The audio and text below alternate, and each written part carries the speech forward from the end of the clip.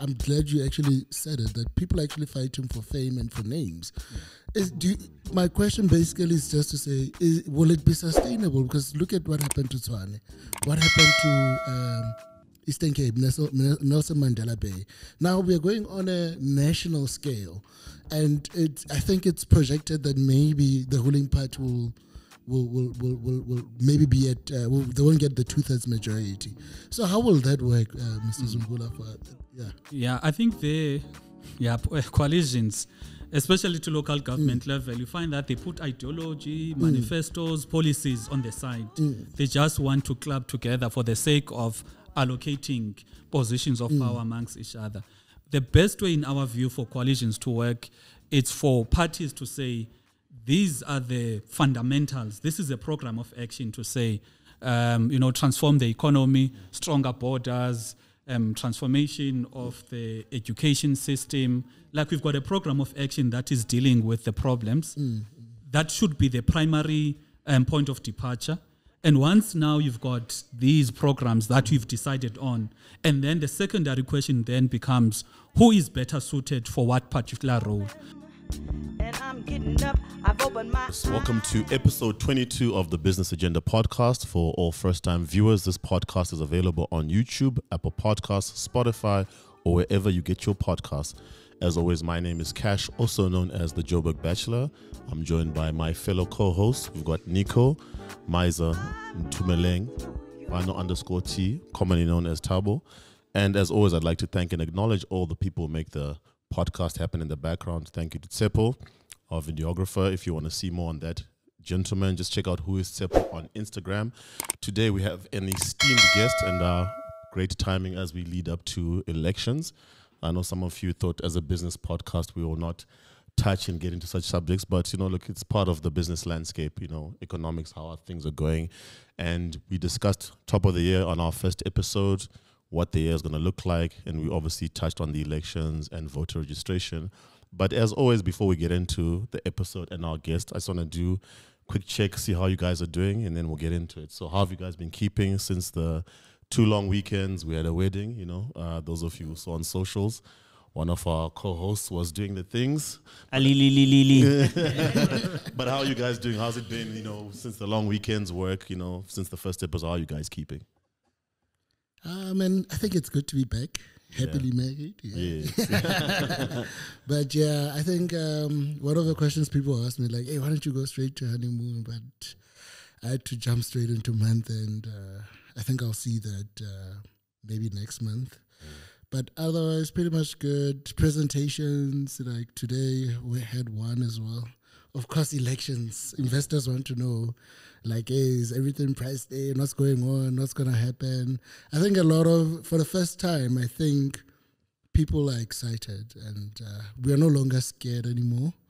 But uh, otherwise, all good. All good on my side, yeah. Good. Nico, on your end? Yeah, all good, all good as well. Uh, I've been busy attending weddings left, right, and center. but besides that, all good and uh, Nappy brides, Kenny nappy brides. It's, it's been busy. it, it, Yeah. it, it gets pricey. No, that's fine. I think we can just jump straight into it. So, our guest, for those of you who don't know, based on his lovely branded uh, attire, is Mr. Vuyo Zungula, the leader and uh, party president for the African Transformation Movement. Uh, thank you, firstly, sir, for joining us. We appreciate you taking your time. And I think just to get straight into it, obviously, maybe you can just start by giving us your background, your how you got into politics, and ultimately how your party was formed would be a good place to start. Yeah, yeah. Thank you for the opportunity. I think it's always good to have such conversations that lead to people actually being informed about the affairs of their own country. So, how I got into politics, there was a council of Messianic churches um, which got together and said, We've been voting for the ruling party, but when it comes to the governance issues, we're not involved in terms of shaping governance policy. So, we need to have our own voice. And that voice, um, they said, let's form our own party that will represent the aspirations of this um, particular grouping. Now, when that was done, as there's a lot of royal houses, ordinary citizens who said, we don't want another church party, want a party that will represent everyone. So that is why you find that our um, views are not um, you know, representing a particular group of society, but it's representative of everyone. Um, I was fortunate to be to have been given the representative of everyone. Um, I was fortunate to be to have been given the given an additional responsibility of leading the party. Oh, wow.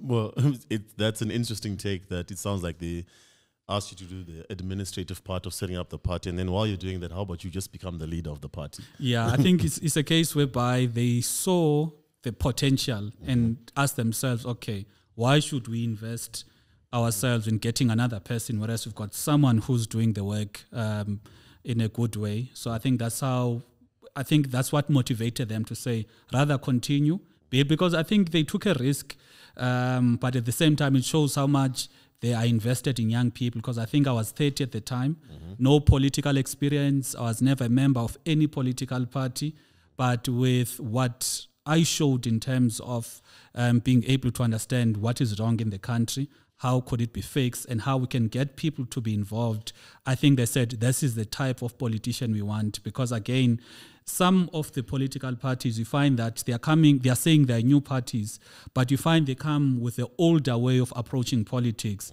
which takes away the freshness and the unique um, approach they need to have in politics And just uh, out of interest, uh, were you ever active in politics, like in varsity? You know how people sort of pivot into politics from your student movements and stuff like that. Were you ever involved prior to um, prior to this?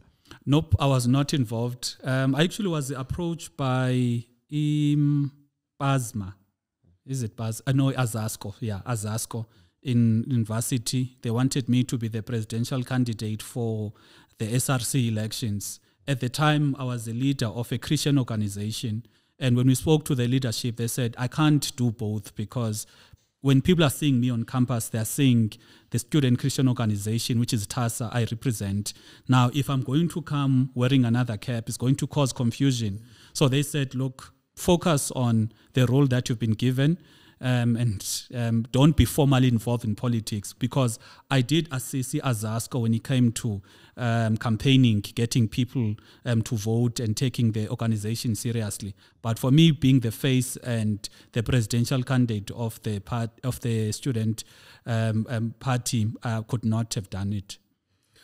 So, so Mr. Zungula, like uh, like you said, you didn't have any experience, and uh, your party, as I saw, it's mainly youth base. So now, how do we encourage the youth to vote? Because the last time we saw the youth was uh, sort of uh, um, they didn't want to vote. How do we get the youth uh, interested? Because I think uh, with your numbers, you managed to. You managed to, I think, get two national seats Yeah. and then one in Eastern Cape, one in KZN. So now, how do we how do we do that on a larger scale to get the youth actively involved? Uh, Yeah, I think the problem when it comes to the politics of our country, in line with the education system um, and the social structure of our country, generally, many people are ignorant when it comes to politics. It becomes also deliberate because if you had a government that realized, okay, here's a problem of ignorance, especially amongst young people, let's use education system um, life orientation is a subject to teach people about patriotism, being involved in their affairs in an apolitical manner. So for us, I think what the government should have done, because the government does have the capabilities, um, you find that a lot of people did not even know they need to register to vote. They don't know the options they have, but what they know is that they are not going to vote. Yet they are the very same young people that are going to complain about unemployment, you know, not having, you know, funding for varsity and stuff, but they are not involved in shaping their own future. So for us, I think we just need to keep on having conversations that are going to empower young people.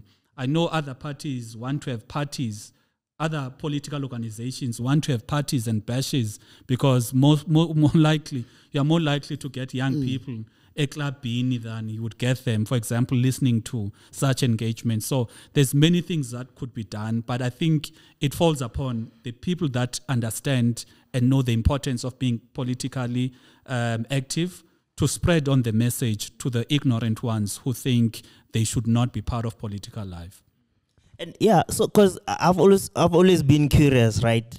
Um, one can go on a marketing campaign in corporate where you introduce a new cool drink or you introduce and or, or a new alcohol. We've seen that where guys really go on massive campaigns. But when it comes to things like um, uh, election, uh, sorry, um, uh, voter registration weeks and stuff, yes, it's here, uh, here and there where you hear about these things, but uh, the the amount of effort that gets put in does, does it rely is it supposed to be national government or is it supposed to be like an I, um, uh, IEC who puts in that kind of effort to to say who actually does come in uh, uh, who, whose responsibility is it basically um, to to to like push the marketing and why would they not then uh, Ja- ja- uh, uh, market Be- before you answer, Mr. Zungula, like I don't know, maybe I'm, I stand to be corrected. Uh, is, is it true that uh, there is allocation to IEC, and why isn't to- to add on to Nico's question, why isn't IEC doing more? Because like I had the same conversation with my colleagues today that there's so many different parties, but people only know about the three. Yeah, You know, yeah, maybe just I just wanted to to if you can clarify the yeah. allocation Yeah. and yeah.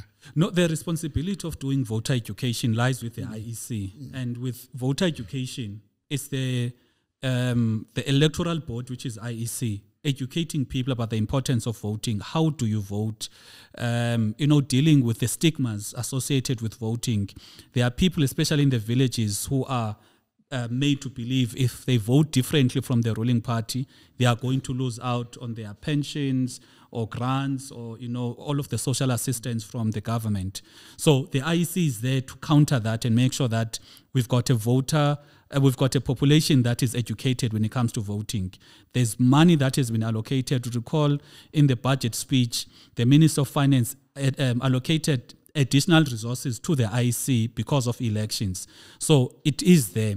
However, we're of the view now politically that a well informed electorate when it comes to voting does not suit the ruling party because the ruling party thrives on ignorance in the sense that if people are not voting, um, um, it means, um, remember in 2021, the ruling party lost some of the municipalities as well as 2016, and they retained some of the municipalities precisely because people did not go out and vote for other parties. They just remained at home and did not vote.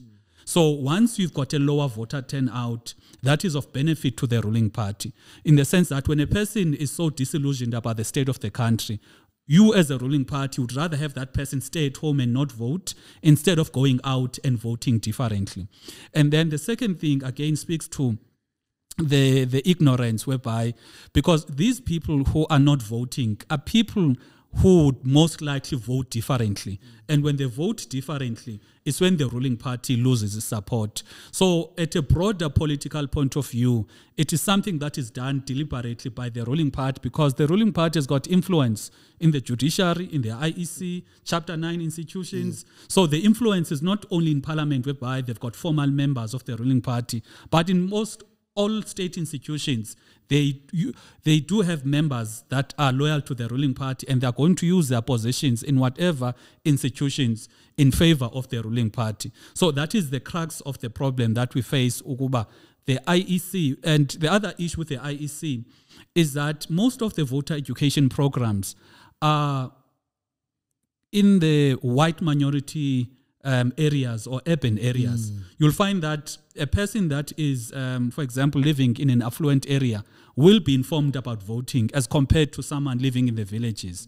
Now, that is why you find there's a higher turnout um, a voter at, a, at an, in these affluent areas, lower turnout in the um, um, in these areas, townships and the villages. So that is where the disparities lie, whereby the IEC, instead of investing in the townships and the um, villages whereby voter education is most needed, they would rather focus on the affluent areas because in the affluent areas, a person is most likely to vote for the Democratic Alliance or uh, many of these liberal parties. Again, you've got NGOs that are given money by some of these state institutions to actually do voter education. But again, that voter education is tilted towards these affluent areas instead of the poor areas, whereby generally that is where people are most, um, you know, ignorant or unaware about the affairs of the country. You spoke about uh, disenfranchisement of people in terms of voters, where they feel this the choices that are there do not serve them, so they rather stay at home, which obviously serves the ruling party. I, I think one thing that's been going around a lot in terms of just social discourse is people feel there are too many political parties. I wanted to get at a high level. Firstly, what's your thought on that? Mm. And secondly, as a fairly new political party, do you feel South Africa has an overload of political parties? Because you find outside of South Africa and in other countries, Democrats, Republicans, mm. Tories versus the Labour Party, and maybe in other cases, maybe one other. Because what that does is it it creates a situation where people know exactly what they're getting. But if you look even at the ballots, it's I know sometimes people talk about it jokingly. There's so many choices. I think in a way that leads to a bit of a disenfranchisement and where people stay at home. But so just high level, maybe start with what are your thoughts as a new, fairly new political party? Do you think South Africa has too many parties? Yeah, South Africa, there is too many parties, um, precisely because some people in the political space are there for their own, you know, gratification. Because you find, for example, now you're going to have parties that were not, that could not meet the IEC threshold. Now, if these people were about the betterment of society, the most natural thing you would expect them to do is to say, the IEC requirements, we could not meet them. We are not going to win the ballot. However, we are endorsing this particular party because it is sharing the same view as us. But you find that majority of the parties who could not make the IEC threshold will just sit down and they will not make any pronouncement to say this is where we encourage our supporters to actually go and vote. So that is the biggest issue because many people in the political space are not there for the benefit of society. That is why you find in parliament, it was a shock of my life when I went there because my expectation was that it's going to be an institution whereby there's festival of ideas, solutions, and would rather fight over ideas instead of personalities. And what I experienced there is that indeed, instead of that, people are fighting over um, fame, they're fighting over power, they're fighting over the, the relevance Patronage. um, and patronage instead of um, let's have a, a conflict of ideas because once we've got a conflict of ideas basically we focus our debates on what are the solutions to the problems but immediately we fight over personalities then it's less about the people and more about the, the the players in parliament so but i think as time goes on we hope that people will come back to their senses and say, let's work for the betterment of society. Because if we don't do that, South Africa is a ticking time bomb. South Africa is, you know, is uh, you know is heading the direction of being a failed state.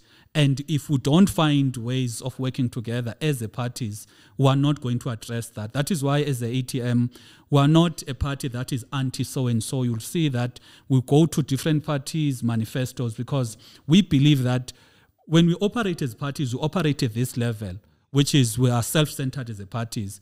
But once we get to work together on many issues, then we are able to solve the issues that are, um, you know, that are needed to be solved for the betterment of society. We'll recall in the former President Zuma years, what made the parliament to be able to deal with the Nkandla issue. It was not a singular party, but it was different parties clubbing together. Similarly, on Phala, it was not a singular party, but it was different parties saying we're going to work together. So that shows that when parties actually put their differences aside, work on the common interests of the country, we're most likely to solve our problems.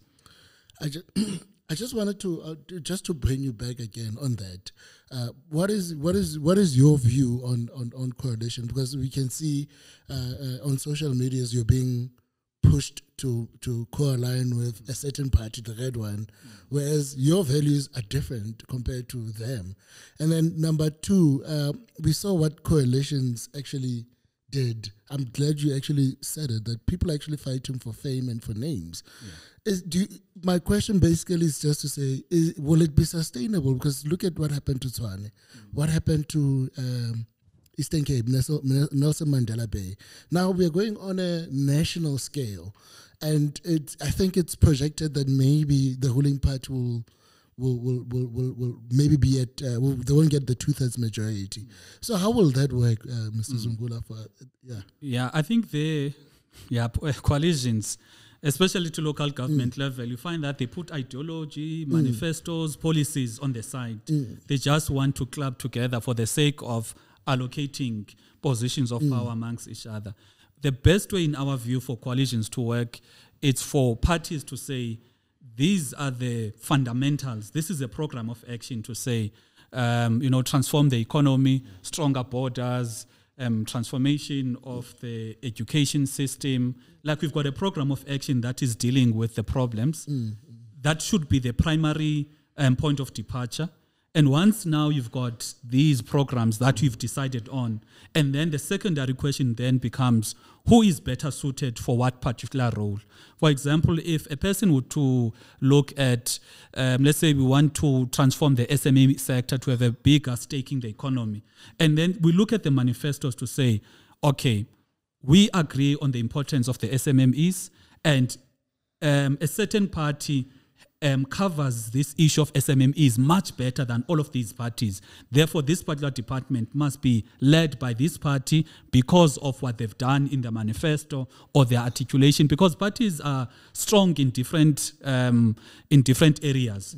So once you have an approach that is program first, and then you come back and say who does what, and who does what is not based on wanting to just um, you know selfishly satisfy people. But it's based on the strength of the parties. Then it becomes much easier to have coalitions.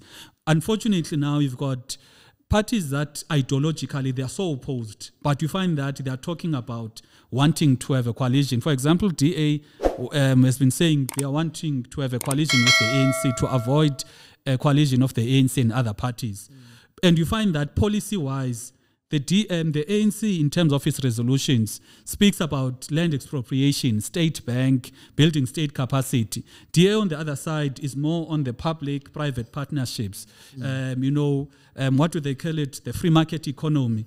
You know, so you find, yeah, and they are against BE. ANC, this side, you know, for BE. they are for BE. So you find that from a policy point of view, it will become chaos. But if you've got parties that are like-minded, ideologically and policy-wise, then you are easily going to find means and ways to work together. It seems to me that it's more of a power play, you know, where people don't take your uh, logical approach and guys uh, focus a lot more on on on uh, how much power will I gather It's if I join uh, with this person and this person. And I, I I wanted to go back to the point um, uh, you mentioned um, uh, about uh, Parliament, right? Um, I was reading something interesting recently about um, how uh, an ordinary South African doesn't really know what the purpose of parliament is and who actually goes to parliament. Over the last few weeks, we've seen the names come forward of um, you know the people nominated to go to parliament, etc. But then I just want to ask you to maybe give a brief explanation of what like um, what's the what's the purpose of parliament?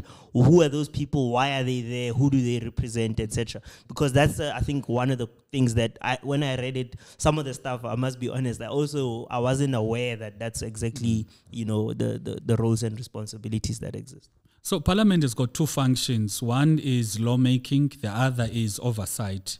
So on the lawmaking side, it's when um, you know, let's say there's a bill um, that is introduced by any member of parliament, or maybe there's a, a, a department, government department that is saying, okay, we are working in this space and we think this bill or the laws need to be changed to ach- for us as a department to achieve a certain um, objective.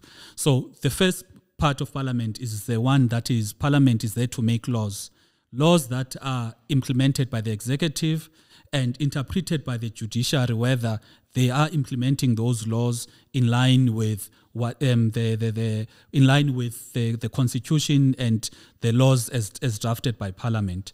And then the other side of parliament the role now becomes the oversight and accountability mechanism whereby parliament plays an oversight role over the executive that is why you find that how parliament is structured if there's 34 ministers, which is 34 departments, employment and labor, home affairs, and all of these um, departments, there's a corresponding portfolio committee whereby the home affairs minister and the departments accounts to the portfolio committee. So everything that has been done by this department will be scrutinized by this um, particular portfolio committee. Now, what that does is that um, it is giving now Parliament an obligation to check whether this department is doing things in accordance to the law and in, in, um, in the best interest of the people. Now, the people that are in Parliament, the issue becomes the loyalty Because when people vote, put aside now these elections whereby you vote for independent candidates. When people vote, they vote for a party, they don't vote for an individual. Now, when a member of parliament is sworn in, they are they take an oath to be loyal to the country.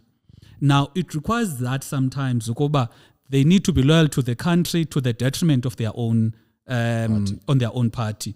You'll recall in the previous um, presidential term, this question of voting with your conscience, um, secret ballot, came out quite a lot because it required now members of parliament to vote against the instructions or the wishes of their own party. So that is the biggest issue now that is facing members of parliament to say, if you're a member of parliament, who exactly are you representing? Are you representing the citizens or are you representing the party? Many parties are of the view that it is a party that got to be voted there people were not voting for Vuyo, they were voting for a party, and they were voting for a party based on the manifesto of the party. So Uvuyo is in parliament to implement the views of the party. And then there's this other uh, argument to say, but when Vuyo was sworn in, the party was not sworn in um, it was Vuyo that was sworn in as an individual, and he sought to be faithful and loyal to the country, even if, if it means to the, um, to the detriment of his own party. So I think that is where the conflict lies. So the question of a secret ballot when it comes to voting, it becomes also very important because there are times whereby members of the ruling party um, you know, they do want to vote with the opposition, but they can't openly vote because they are going to be punished by their own ruling party. So the issue of the secret ballot then enables, that is why when we went to court, we said a secret ballot actually enables parliament to play a more effective oversight role because when you are making a choice as a member of parliament, you are not having the consideration of this is how my party is going to punish me. Um, I'm going to be kicked out from parliament. And remember, majority of members of parliament um, if a person was in politics since age 18, they don't know any other life besides politics. So they would not want um, to tamper with their bread. So it compromises then their, their role in terms of holding the executive accountable. So that is the crux of the issue when it comes to how parliament ought to operate. That is why, Tina, we said um, there needs to be a change in terms of their roles because the constitution of our country saying when you elect a president, the voting mechanism is a secret ballot. But if you are going to hold the president accountable, meaning by a motion of no confidence, it is the speaker that decides the voting mechanism. So Tino was saying, but, but you can't, when you put in a person secret ballot, when you have to remove him, not um, a secret ballot anymore. So that is where we got it wrong in terms of our constitution. So I wanted to ask, maybe just to bring you back to your political party and your background because I think why some people have little, as citizens, have little interest in political parties. Nine times out of ten, when they listen to politicians, regardless of the party, they get plenty of promises. And I think we all know how that tends to go. Same promises, person disappears, comes back after five years. And that leads to a situation where even the youth are not interested in politics, but it's the only way to fix the country. So, uh, in terms of just putting on the spot a little bit, what sets your party apart? Maybe at the core, what are the main values of the ATM and what do you plan to do different if someone says, okay, I've watched this and I like what they're saying, but to get behind what really sets you apart values wise and what's different for ATM and any other political party? Well, when it comes to um, being trustworthy and dependable to the people, when ATM was campaigning in 2019, we had our manifesto because that is a promise, a manifesto. When we go to Parliament, since um, day one, which is the SONA of June 2019 up until now, we've been very vocal and consistent on what we had promised. The issue is that because people are sometimes unaware of, um, you know, our governance structures, they would think that if we're promising um, that SMMEs are going to have a more dominant role in the economy, when we get into parliament, we have the power to do that. not understanding that when we're making those promises, we're saying that if we become a ruling party, we are going to be this. But once we are elected and we become an opposition party, then our role is limited to influencing the ruling party because we are not in power to make the decisions. But when it comes to the consistency, um, you can now hold the party accountable to say, you promised um, that you are going to prioritize SMMEs. Now, let's hear your debates on SONA, um, debates on dealing with youth unemployment, dealing with unemployment, restructuring of the economy. If the SMMEs is a dominant theme, then it means you have lived up to your promise. So if people could um, hold us accountable based on what we say in parliament advocating for the very same issue we're advocating for whilst we were campaigning.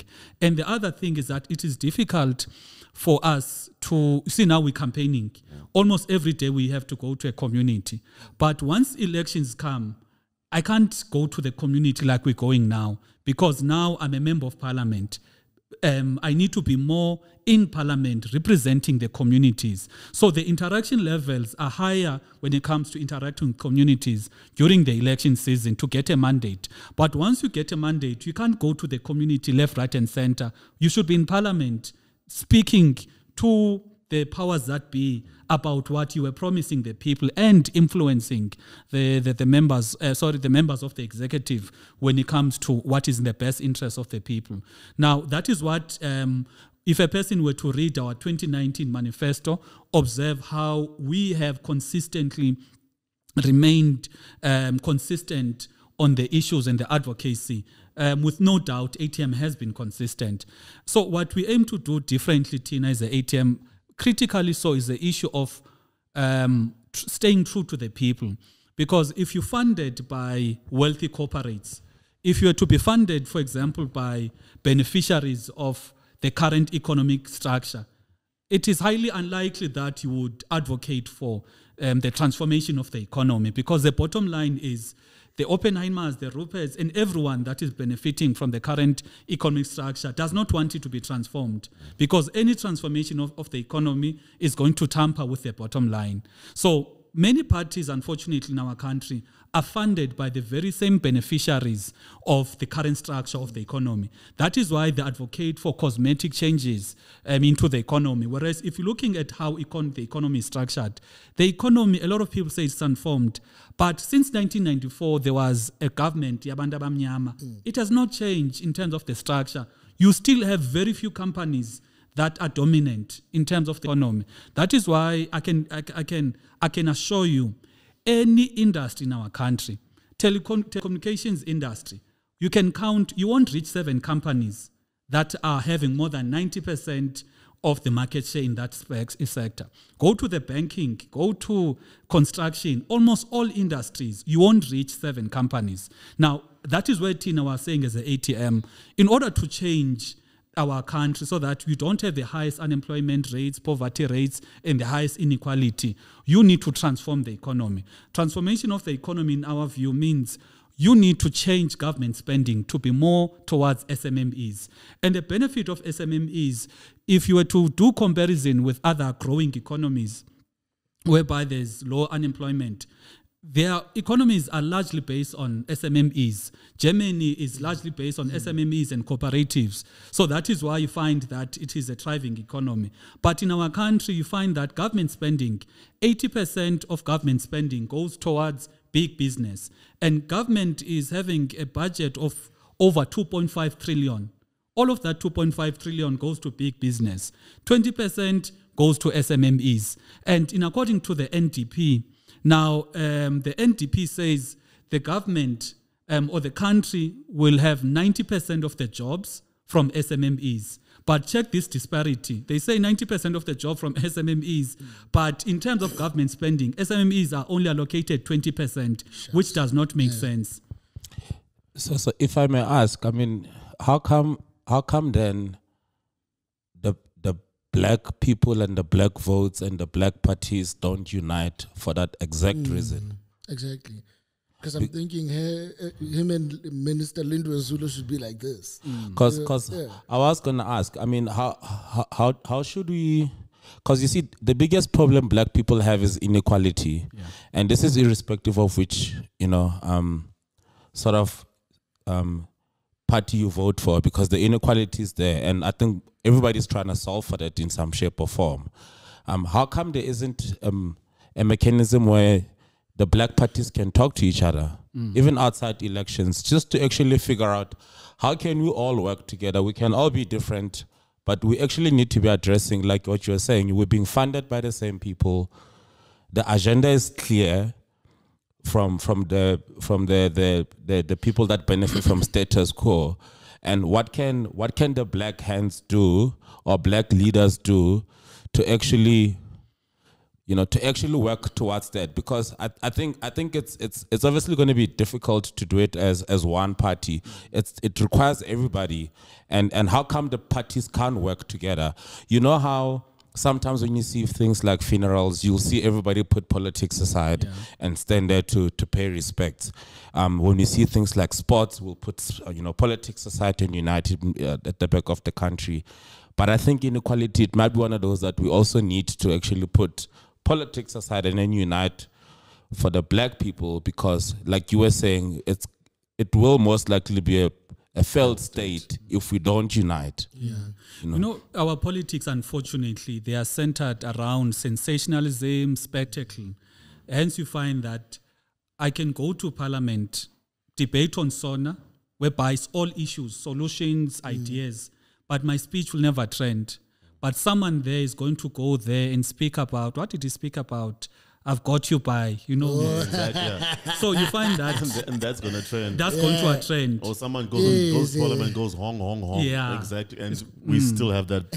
but in addition to that, sorry to cut. I just I feel strongly about this because my like my co says, why is it that we in Africa we've seen that the further you go from independence of each country, the more it comes towards a failed state. Mm. So South Africa being a country that gained independence in the latter stages in terms of uh, getting independence, there's plenty of blueprints on how not to end up there, but faster than we'd want. South Africa is ending up in that direction.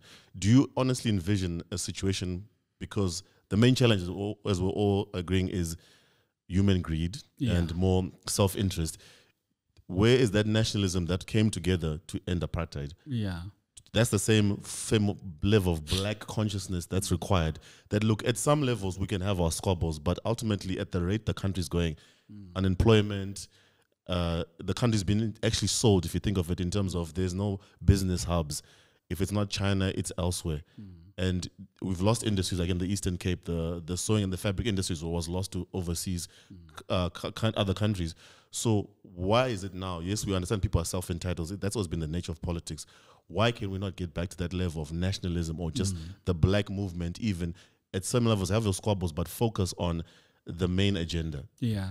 You know, I think for that, black people have been defocused on their real issues for um, for the past 30 years. And I think they've also internalized that being defocused to an extent whereby even if you try to have relations with other parties, people are so used to differences, they're so used to that we need to be enemies because we are in different parties.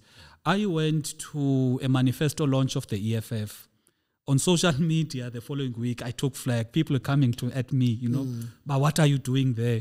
I went a following week later to um, pac again. What are you doing there? You know because in their minds we need to you know be, in separate lanes be divided. So it's taking a bit of time people to understand our vision as the atm to say it must it must not be about the parties. It must be about the people. And the best way to do that is that we need to interact with the parties because for us to find each other on issues we need to have space whereby we can sit um, you know talk about issues you know discuss issues so that when we go to parliament and we advocate these issues we have discussed behind the scenes about how you know we can work together in service to the country but the problem is that it is taking some time because of how people have been defocused on the politics of issues. They are now on the politics of um, loyalty to parties, politics of sensation, instead of loyalty to um, like the, the, the, the movement of saying this is what we want to achieve. And I want to agree with you to say, you know, pre 1994, every black person in our country was serving was serving that thought that we are fighting for freedom. One common and goal. this is what freedom means: one man, one vote, um, equal country, blah blah blah, all of those issues. But after 1994, I don't think people were galvanized to say this now becomes our generational mission to say how then do we live in a more equal society? How then do we change the ownership of the land? How then do we transform the economy? How then do we make South Africans to live a better life? So people have not been galvanized around the broader objectives. They've been galvanized around personalities and political parties. That is why you're going to have a person loyal to the party, even if the party is messing up, loyal to an individual, even if the individual is misleading them. But if a person or the country was, you know, um, mobilized on the goal or the, the, the, the objectives of improving the lives of the people. If Uvuyo messes up, they are going to hold me accountable, not to be loyal to me, but you've got people in our politics or in our country that are loyal to other parties or individuals to the detriment of the um, greater goals of abantu abamnyama. But if you look at the white minority, they are they built a university in Centurion. Um, you know, they are always step ahead of us because, and you find that I made was making this example. I never, I've never seen a breakaway of a Freedom Front Plus. I've never seen members of the Freedom Front Plus, you know, banning a T-shirt of mm. one leader of another or mm. another, simply because maybe they are able to look at the bigger goal. Whereas Tina is about us. If it's not me, then I'm going to sit down and I'm not going to campaign because precisely maybe I'm in politics for my own self enrichment, not in politics for the betterment of society. So, what we're trying to answer is the ATM. That is why we go to different parties' rallies, we engage different parties. There's a new party that reached out to us and said, Look, um, you actually inspire us because you got into parliament without any experience in politics, but you've made your mark. How did you do it? And we had a two hour engagement. Even now, today, I got an invite to their manifesto rally, of which I'm going to go, simply because I strongly believe that we need, we need now, after 30 years of democracy, we need um, parties to work together, um, you know, in to seek to achieve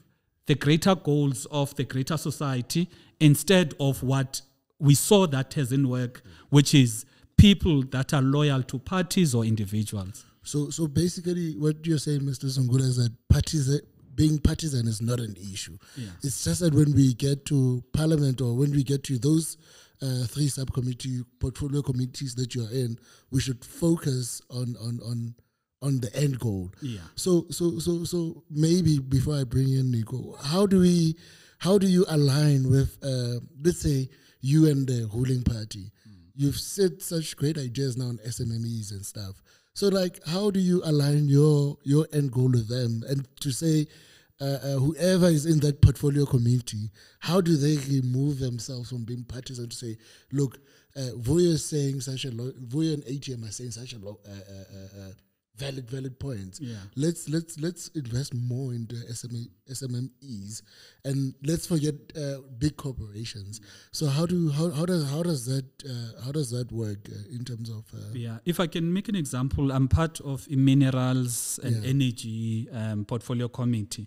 In that portfolio committee, we made it clear, and fortunately, the chairperson of the committee was someone who said, Look, when we are here, yes, we are representing different parties, but what is important is that let's raise issues in the betterment of society. Therefore, let us not be so much into our own parties and forget to go back. All of us, as members of parliament, we took on oath, um, you know, to put the interests of the people first. So, whenever there's discussions, debates, I remember one time there was this talk about um, um, moving away to um, uh, um, not just Just transition, Yeah. just energy transition. Yes. And all of us there in the committee, except of course the DA, were saying that it should not be, we should, we should stick to clean coal technologies because we have coal in abundance in our country. We've got coal power stations. We can't just now move from coal to renewables, yabo. Um, especially because we've got so many towns in Mpumalanga their entire economies are dependent on those coal coal mines. So when a person was listening to our engagement, they could not tell who's coming from which part because all of us were speaking in one voice on that. Similarly, I'm also a member of small business development. We were raising this thing of saying um, there needs to be harsh punishment for departments who take more than 60 days to pay invoices. Because as a small business you don't have the luxury of waiting 90 120 days for your invoices to be paid. And we need to do away with red tape. We need to advocate for government to increase its spending on SMMEs yabo. So i think what helps in our view is that we're not pompous and we're able now to you know focus people on their ideas and if the ruling party wants to, um, you know, um, kuthiwa yintoni, uh, take over the ideas, if it's theirs, we don't mind, Tina, as long as the ideas will be implemented Yeah. and abantu are going to benefit. Whereas other parties are like, this is our thing, and we don't want the ruling party to take it as theirs, of which you can't stop that. If it's going to benefit the people, we don't care, Tina, as long as the people are going to benefit. So it's about being patriotic. Yeah, putting the interests of the people first instead of wanting to cement yourself to say, you did that, you did that, because it does not help the people, Okoba, I get the credit. Um, but what helps the people is that the government is actually implementing this and people's lives are going to change for the better. Yeah. No, firstly, I want to uh, commend you and tell you that you must keep fighting for us and for our small businesses. as a um, Small business as owner. a small business owner, it's really very difficult to you know to navigate uh, um, uh, and and and compete against these big guys, particularly because of the um, the financial muscle that they have and the and the difficulties we have in terms of you know getting getting funding and things like that. And um, but um, the, the question I have is also on the funding side, right? Um, you did mention uh, uh, political funding. I was having a conversation with someone, and my view is really that um, uh, depending on who funds you, there could be a potential uh, um, conflict of interest in. Uh, in that uh, you know your your manifesto is kind of swayed in a certain direction, uh, even though the individual does not necessarily tell you that that is the case. But um, and and so what I just wanted to get your thoughts on you know, on, on political fundings and uh, uh, if you believe that there should be some sort of caps in, introduced and things like that. Yeah, you know, Thomas Sankara put it very, very clear by saying whoever funds you controls you. Like what you, like, think about the genocide in Palestine. Think about the parties that were saying, but no, there's no genocide, blah, blah, blah. And once you look at those parties' financials or the declarations to the IEC, you can see who is giving them money. That is why they're able to turn a blind eye on a genocide, clear genocide that everyone knows that people of Palestine are being wiped out of their own land. But because these people need to be loyal to whoever gives them money. So that is the, the, the, the problem in our country in the sense that you don't have independent parties or independent members of parliament. You've got proxies or representatives of whoever that is funding them. So that is why Tina is the ATM.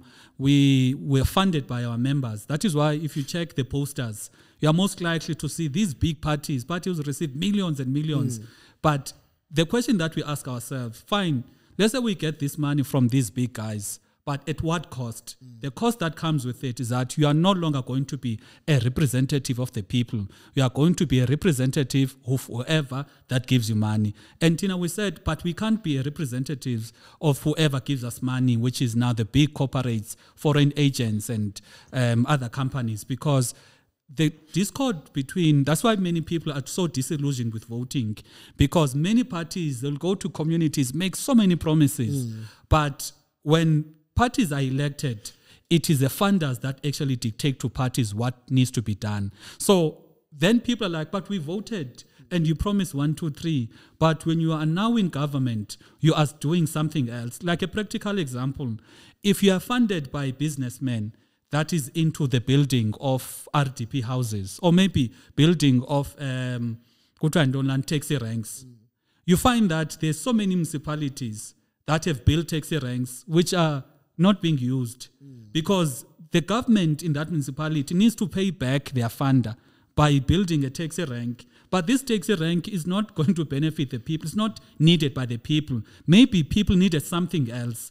But because these guys needed to pay back their funder, they need now to create this or build this taxi rank. I was um, in Fulani the other time. There's a taxi rank there that's not being utilized. Similarly, uh, Mogale City, there's a sim- similar problem. So, and I picked up, no man, across the municipalities, there's so many taxi ranks, and I can assure you, there is no way the government or municipality level would not know Kuba, these are the existing taxi ranks, so let's refurbish those, or these are the areas whereby the taxi ranks could be built. But because these guys, and remember, there's a need.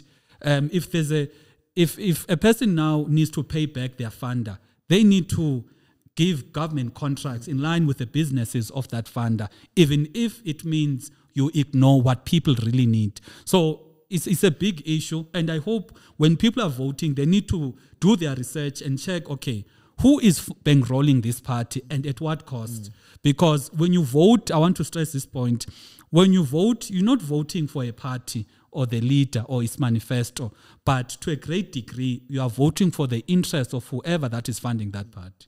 I, I'm from the Vaal. I can attest. we have a lot of taxi ranks that are not useful. So I guess that's the reason why there was a big fight about parties showing who who actually f- is funding them. Yeah, but I also wanted to I also wanted to to to to get your view on uh, the tender system, the one that you just explained now. Like, uh, why is that system so? Problematic. problematic and it's not transparent ex- especially that like now somebody funded the party that person gets a tender so how, how do we regu- how do we regulate the tender system because for me i think in the last episode that we had i had a mini uh, um, Tirade. ti- maybe tantrum because of the tender system in South Africa that's not transparent. How do we fix that? Can't we? For me, maybe if, if I'll take this as a as a, as, a, as an opportunity to to get an education, like. Can't we get uh, a certain department to say, okay, fine, if the certain department is gonna, uh, uh, let's say, Department of Transport or Public Works, like, can't they do the roads or assign the municipal? Why do we need a tender system that's not transparent? Because I think that's where we're wasting money. I, I don't know. Maybe I'd, I'd, I'd, I'd like to get your opinion on that. Yeah. Yeah, I think tenders or gov- the, the concept of government contracts, it is a, um, a system that we can't run away from. It's a system that is necessary because you need state intervention. Um, if you check how the economy under white rule was able to um, to be transformed, you saw see companies like Abo Sanlam and the others. They were actually built. Um, even some of the state institutions they were actually built at the back of government contracts. Now the question or the biggest issue is having abantu that are presiding over the affairs of the country, but who do not who are not acting in the best interest of the people. So that is where the issue is. Not to say the system is wrong. The system is right, but the people who are presiding over the system Are the wrong one. Are one. the wrong one because they are selfish. That is why you find that even if a tender is advertised, they already know who's going to get it. Um, They sit down. Um, you know, some of the if you look at the Eastern Cape, so much money is returned back to national treasury. Let's say it's uh, Unallocated. um, uh, yeah, and you find that, for example, it's about money belonging to the Department of Education. There is a need because there's so many schools that need to be upgraded, infrastructure, etc. But because they fight over who gets to um, have this tender, they would rather say we're not going to issue the tender anyway. Let it rather go back to National Treasury, and the people end up losing. So, in our view, you need a abantu that will place the interest of the people ahead of their own. I mean, in terms of your principles, I uh, one thing I saw in just doing high level research, you've got some quite, I don't want to say radical, but firm principles in terms of stuff like the death penalty. And I was thinking maybe two-folded question. South Africa's constitution is quite inclusive. I know you mentioned that you're a Messianic Christian party that is all inclusive. But one, do you, how possible do you think it is for the ATM to be a party that can represent the people from an inclusive standpoint? That's the first thing. And secondly, do you feel South Africa has the leadership outside of your party? Does South Africa have the leadership to make the bold decisions? Because bold decisions do need to be made around crime, mm-hmm. around corruption, around GBV. Almost a Margaret Thatcher type personality who came in and just said, the unions, the power they had, she dealt with that. Mm. But now we don't see that. That's why people also disenfranchised, even worldwide. In some areas, we're seeing so many coalitions because we went from an era of the Chris Hanis, mm. you know, the Steve Bikos, mm. like leaders who had so much nationalism and pride, and we're very clear in who they are and what they are. It's not that one minute this person's in this party, few years he starts his own party. There's a lot of hopping. Yeah. With without mentioning names, I think we all see it, especially in Gauteng. So, twofold question is just to get more on insight. One, can your party really be inclusive? Because the constitution is quite broad in how it includes people. I don't want people to mistakenly think you're a Christian party and you're only going to follow Christian views. And secondly, do we have the leadership to make some of the decisions that your party believes in in terms of capital punishment and ending corruption and unemployment? Yeah, the party is very inclusive. Um, you know that is why it's. V- I don't think I've ever said the Bible says this, therefore this must happen. Yeah. It's always the case, Okuba. This is what's wrong in the country. This is a consequence as a result of what's wrong. This is the solution. Even on the question of the death penalty, we take our view based on what transpired in 1995 when the death penalty was abolished.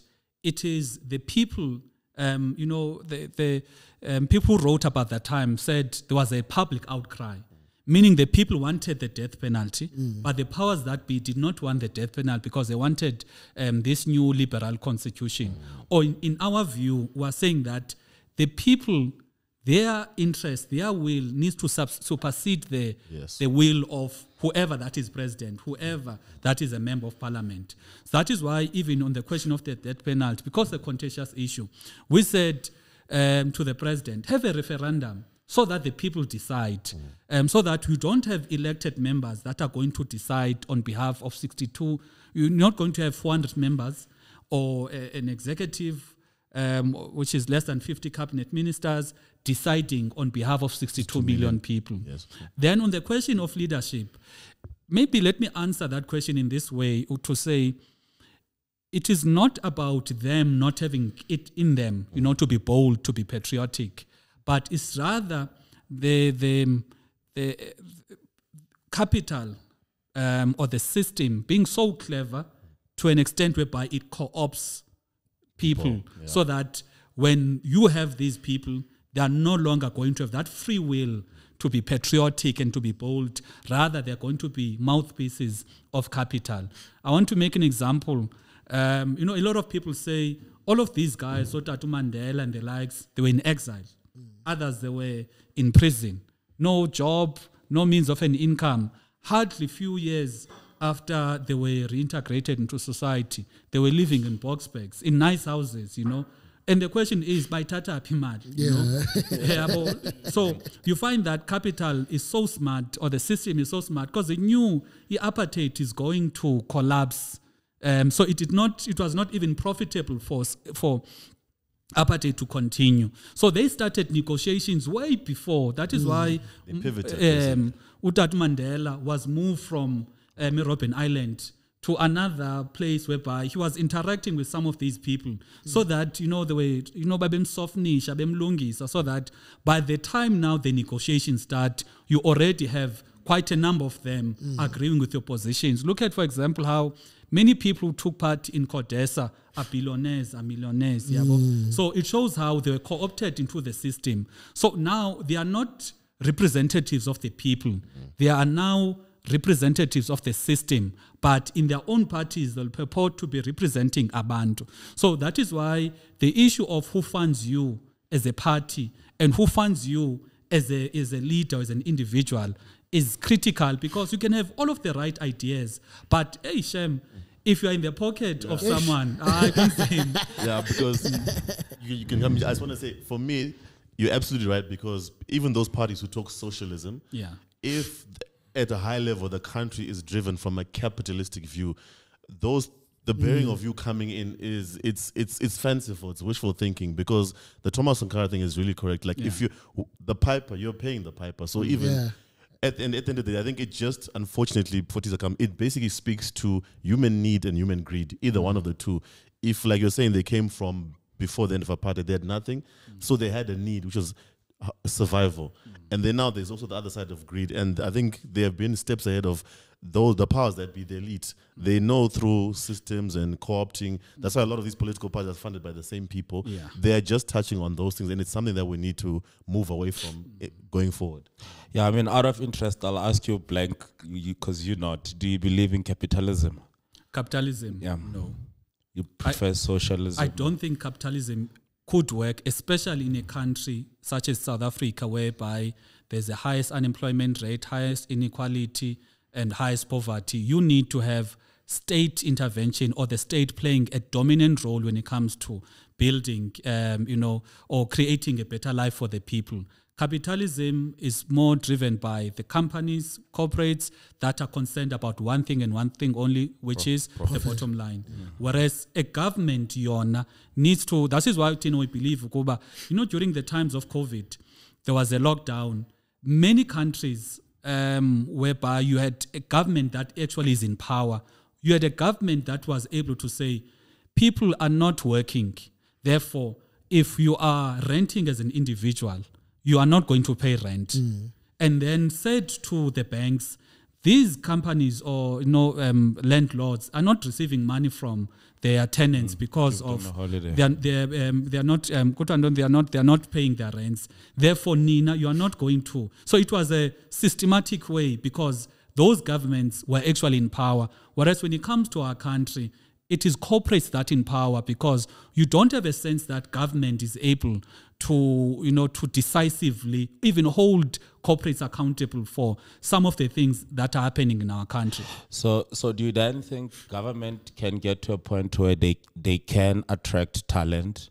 Because the problem is, I mean, as it stands, which is which is leading to my next question. As it stands, it's very difficult for for for talent and people to go work in government.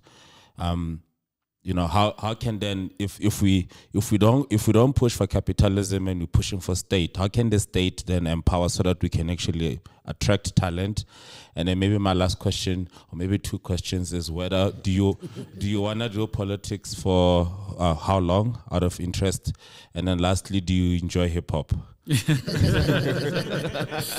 Yeah. Um, yeah. The first question, I think, once we've got servant leaders in our country, it's going to equip and enable and create an environment whereby talent is going to be able to come into the um, public sector. Because you find that public sector has got the opportunities there's bigger budget because you're dealing with the budget of the state. But what makes it to be difficult for people coming from corporate to survive there it is corruption it is patronage it is whereby you know the talents of the people are stifled because you need to toe a particular line even if it goes against your values. But once you've got people that are presiding over the government which is servant leaders then the entire outlook is going to change. And a lot of people think that it is something that is nearly impossible. But i want to make an example. You know when in 1994 look at how south africa managed to change you know when it comes to legislation the you know the governments. And because you had people that were so eager to bring change you know. Majority of the people in their 30s oh lindiwe um omamlindiwe sisulu oh tito mboweni. So it shows ukuba if you got the right set of leaders um, south africa can be um, a better country and we could attract people to to to actually work there then how long am I going to be in politics? I don't know. Thing is, I did not even plan. To, be in politics. I did not even plan to be in politics. You were chosen. Some leaders Yeah. are born. Yeah. Some yeah. So it's something that came as a divine assignment. So that is why I'm not even attached to this position. I was asked in another uh, platform, Ukuba, um, how long do you want to stay? And I said, look, a public a, a position whereby you are serving the people, do not be attached to it, either financially or emotionally, because it's not yours. Should the people decide to go back, thank you, you've done enough. You need to be saying, okay, thank you for the opportunity. You step aside and you give your support to whoever. The reason why the country again is having all of these problems, you find that Abantu, they are staying into these positions, even if um, it is no longer serving the interests of the mm. people. Mm. So if the time comes whereby the powers that be in the party feel I'm no longer serving them, I need to step aside and allow whoever that the party deems ukuba they can serve the party well mm. to act- because if I can't be preaching about in the best interest of the party or in the country, and then You're clinging onto a position. then I'm clinging because it's all about me. Yeah. Yeah. So that is why when I got to parliament, I made sure Kuba, I'm going to study. When I got to parliament, I only had a bachelor's degree. Now I've got master's.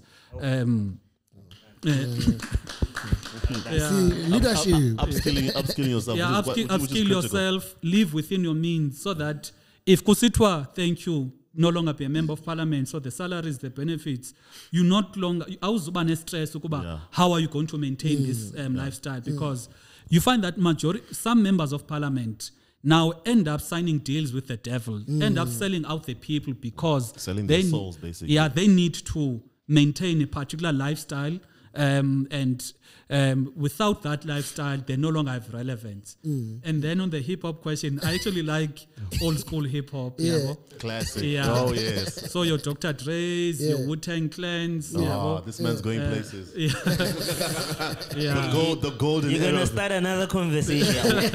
We're not even gonna go on that fight, but I mean, I just, I, I I just hope that one day ATM doesn't also recruit because we can see other parties are recruiting from. Uh, Yeah.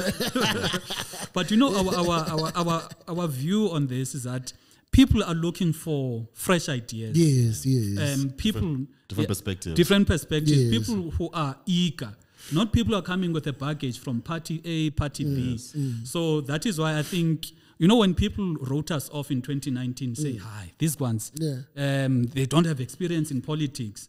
But when we got into parliament, we offered a fresh perspective, Yes. fresh approach.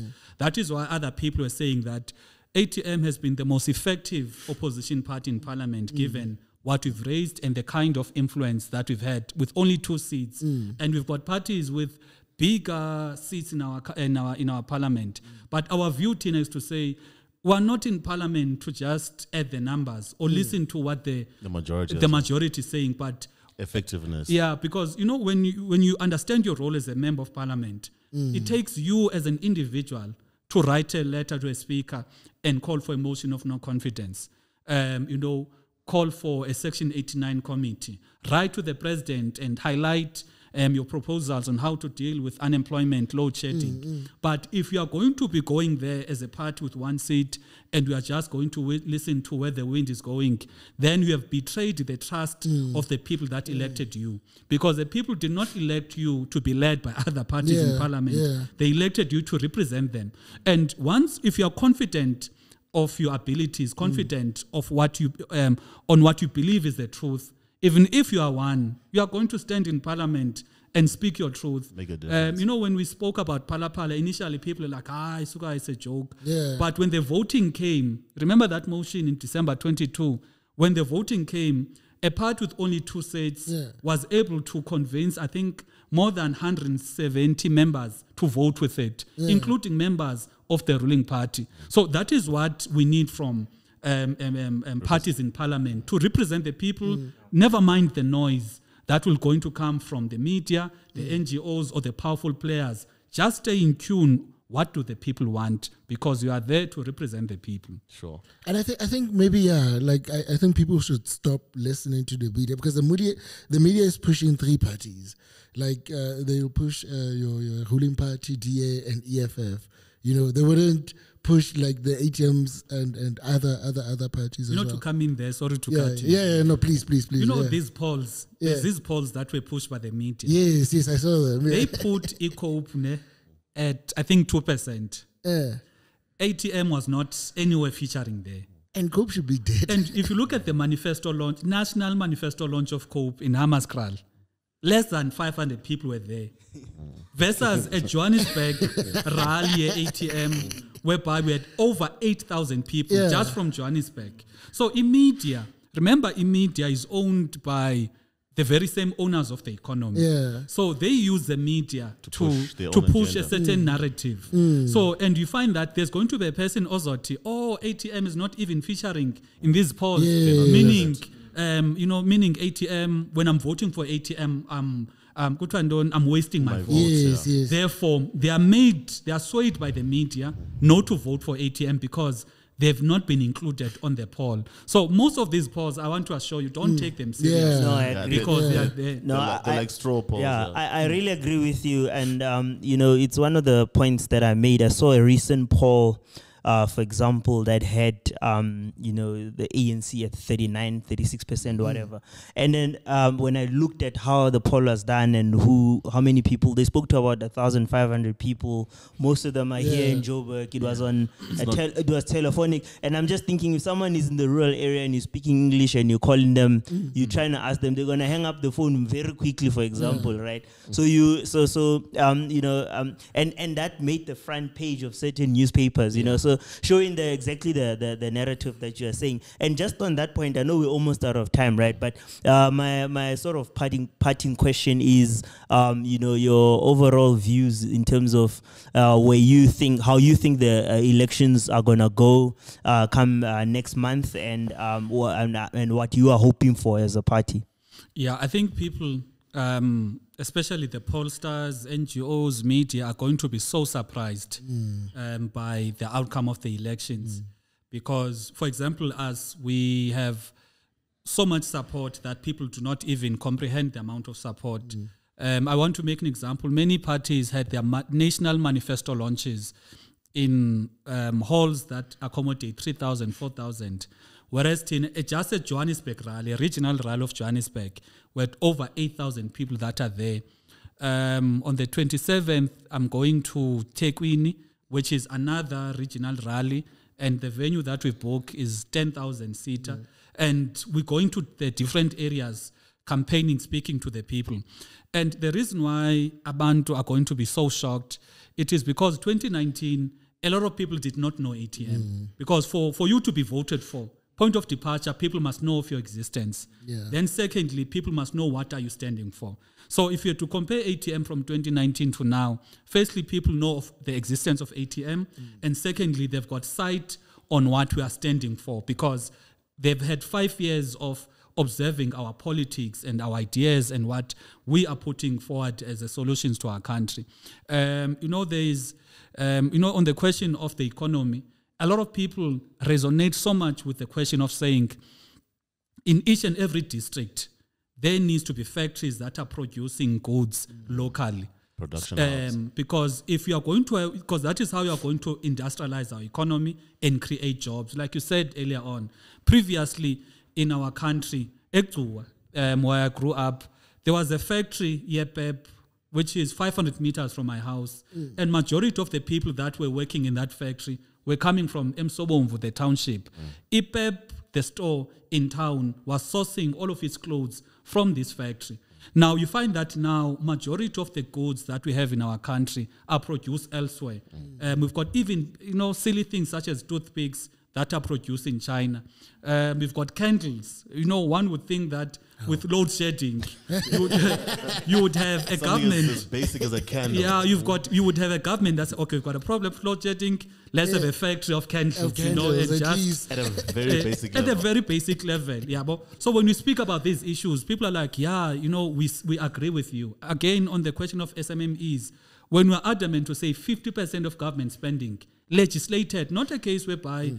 if a certain financial manager or municipal manager or you know um, ceo or premier. yeah or premier feels like it. No it needs to be legislation to say without compromise all government departments whether it's a national government department an Provincial. entity provincial municipality 50% of your spending must go towards S- um, S- um, SMMEs and then this thing of also saying eight um, 10 uh, any government contract that is below 10 million needs to be set aside for SMMEs because you can't have a, a government contract of like a million you've got a big company like Bidvest wanting to enter and compete with an SMME it's unfair on the SMME. Yeah. So people resonate with that when it comes to the economy. They also resonate with how we're saying Kukuba on the um, you know food security. We've got so many people that are in poverty. We've got malnutrition in our country. You've got families um, who go to bed without food. You've got people. I read two stories of people, women in the Eastern Cape, who poison their children and themselves because they don't have food. So when we when we put a solution there to say we have a policy 80 under the ATM government, there's going to be a policy 81 household, one farm, in the sense that um, people are going to be encouraged to farm. They're going to be given the resources to farm. Because once people are given the resources to farm, they are going to eat what they've um, produced themselves. No one is going to go hungry. Whereas cookie gadi elapa that is going to produce something. And secondly, if we are to observe how a Thohoyandou, a vendor, um, I think also a Bushbuckridge, you are going to have many vendors lining next to the street selling whatever excess produce they have. Mm. And once they do that, then it makes them to be able to participate in the economy because at a basic level, you farm so that you've got something to eat. Once you produce access to what you need, mm. you sell it to the people. And also linked to that is saying ukuba we are also of the view ukuba there needs to have a government policy a team 50% of whatever produce that you get, for example, in the um, retailers Eval must come from the emerging farmers from Eval because we've got many young black farmers who are producing something but they can't get shelf space because these white companies what they are very good at it is to make sure but money money circulates around them. That is why for example you are going to go to um, um, Uchuro, the school you'll be forced there to say this is where you buy uniform. Mm. Yeah. this is where you buy some of the things. Mm. And when you try to do some basic research who is owning Curo who's owning these companies? You find that there's a link somewhere. Mm. So um, even with the farming you find that some of these farmers are having ownership or interest in some of these retailers like Shoprite or Checkers etc now when we're saying about 50% of whatever produce they have must come from emerging farmers, then you are creating shelf space. And then you're also creating competition. Competition benefits the con- consumers. And when people are saying it will never work, Botswana is a classic case of how excellent it is working because for the very longest time, the produce that was in the shops in Botswana was coming from the farmers in South Africa. Up until, and 100%, up until the, um, the government of Botswana said we're going to localize. 50% of whatever produce from our um, retailers must come from the farmers in Botswana. Recently, as um, end of last year, 90% of any food that you find in Botswana has been produced by the farmers in Botswana. So that is how the model is working. So for us to transform the economy, get more people to be active in the economy, there needs to be state intervention, and people agree with that. And then on the question of education, people agree with us when we are saying we need to have a skills based education system whereby the government or the Department of Education needs to ask our, itself what are the skills that are needed by the economy?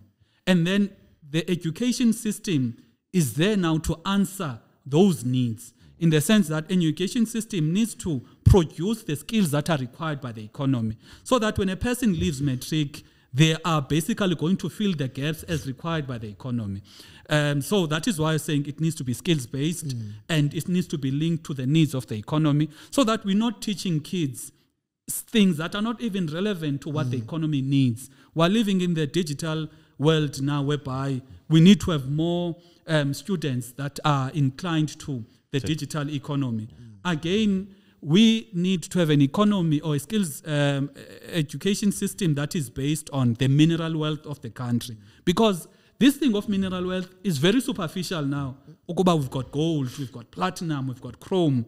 But if you go to our schooling system, is our schooling system actually making it a reality to the students? Ukuba this is our mineral wealth. Whereas in our view, if you're to go to any school, whether it's in the Eastern Cape where there's no mine, the basics of mining, ukuba, in our country, these are the minerals that we have. And this is how these minerals are processed. These are, this is the value of these minerals. So that when kids are growing up, you don't have a tiny fraction of students who are actually venturing into studying mining at a high institution level you know and you have majority of people that are there processing these mines are coming from um, pro- processing these minerals are coming from other countries so when it comes to the question of law and order we're saying that number one employ more police so that we increase the police so that you yeah police And presence visibility, so that you have an increased police visibility and at the same time you train um, the police adequately. Because last year there were 30,000 uh, murders that were um, recorded. Yeah. out of the 30,000 murders that were recorded only 2.7 um, of those murders were actually solved and there were actual convictions, which means we have um, over 25,000 cases that are not solved. So we, we can't even talk about the death penalty without addressing, but people must be caught first and there must be overwhelming evidence for them to actually be convicted. And for that to happen, we need very good um, detectives. We need um, policemen that are going to capture the statements, investigate well, not con- contaminate the the the, The investigation process. um, the investigation process of the crime scenes. And then from there, you pay them well so that they are not incentivized to be in the pockets of um, criminals. Because now you've got cases whereby you've got policemen that are in the pockets of criminals. And in our view, those policemen, if you are going to be a policeman and you are found to be corrupt or working mm. with a with a criminal, mm. the appropriate sentence must be life sentence without the possibility of parole. Because mm. Harsh punishment. yeah, it, it needs to be harsh punishment because what we're effectively doing, you are leading South Africa to collapse because people have got faith in you as a policeman because of the authority of the state. and you need to uphold that position that you have. Exactly. Now, if we are figure when as a policeman now, you abuse that authority and you work with the um, with the um, with the criminals, then it means people are no longer going to have faith in the entire state, mm. and it is because of your doing. You know how Singapore did it when it comes to eradicating corruption. They actually arrested politicians, the people that are powerful. Yes. You know, so in our view, politicians, public officials, immigration officers, police, if you are caught there being corrupt, you need to pay the harshest sentences because it's going to send a strong message to society to say this is not going to be tolerated. The tolerated. tone Yeah. at the top. The tone. Yeah. And I think in closing, we could go on forever, obviously. But but mu- I think I think Mr. Zungula was finishing off the pillars. He was Yes. talking about the pillars. I Yeah, remember he that- was, yeah. I'll, I will give him the, the floor to finish off the pillars. But I think we one thing I am I Mm. do like that's coming from you, you're encapsulating that look overall to there for there to be the change that is required throughout the country at the national level. There has to be will and desire at Yeah. every level of institution. Those who are empowered, those who represent the people, be it in parliament, be it those law, of law enforcement, be it government officials. That the basic message that you- are there for the people and not for for self enrichment. So maybe in a quick two minutes for you to sum up. Obviously, we're giving you the platform. It's been a great interview, but obviously we can't go on forever. But I just like would like you to sum up as a party leader of the ATM in terms of going forward your position in the upcoming elections. Yeah, I think what we want to stress um, to the citizens that South Africans need to be the masters of their own fate.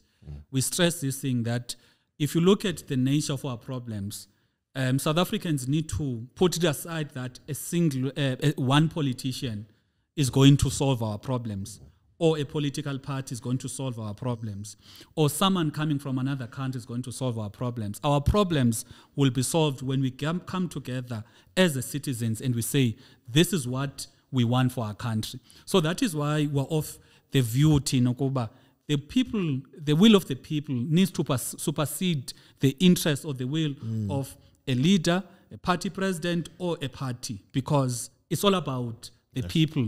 That is why we want them to be involved in the affairs of their own governance and also to stress ukuba people being involved in the affairs of the country does not start and end with voting. Voting is but one of the processes. But people need to follow parliament. When there's a new bill that is being discussed, people need to know, okay, this bill is here, this is how it's going to affect me. This is how I can contribute. For example, there is this digital nomad visa that they are talking about. People need to be aware of such um, laws or visas or processes that are being done by the government express their objection or its support, but people need to be generally involved in the political processes of our country. And at the same time, in your respective home, teach patriotism to mm. your children.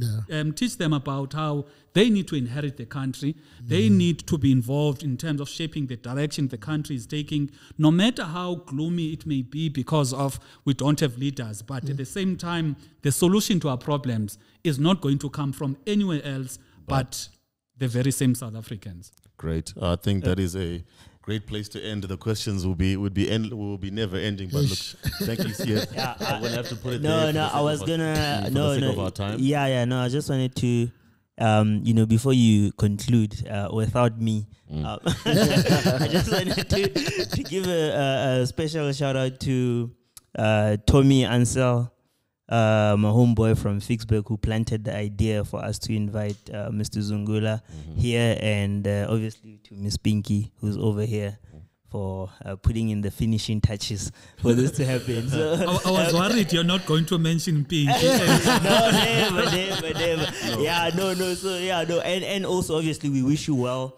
I, I actually believe that uh, in this episode, um, you definitely have gained a lot of votes. Um, Yeah, uh, definitely. because um, um, from because uh, the people we talk to, we Yeah. share similar views Yeah. to to to what you've what you've spoken about, and um, you know, uh, the average professional is definitely tired and would like to see a difference. And I think you're the light uh, that we are looking for, uh, you know, as a country to. To, uh, to also lead us, yeah.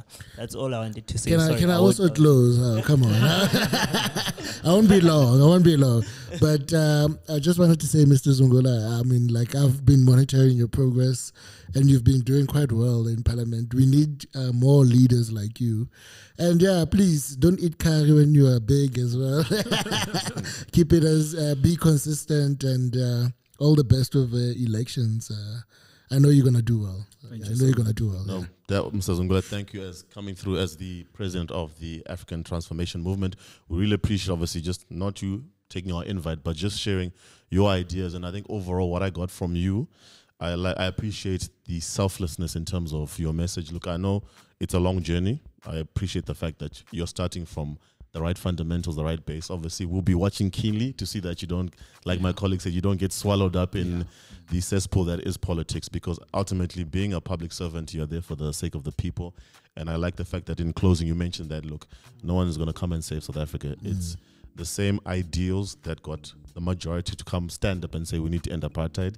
It's that same level of Ubuntu and black pride. And it doesn't have to be nationalism, it's more patriotism that will come through and, you know, start to fix the problems that we're seeing in South Africa. So thank you so much. We've been monitoring and we wish you the, the best for all your endeavors.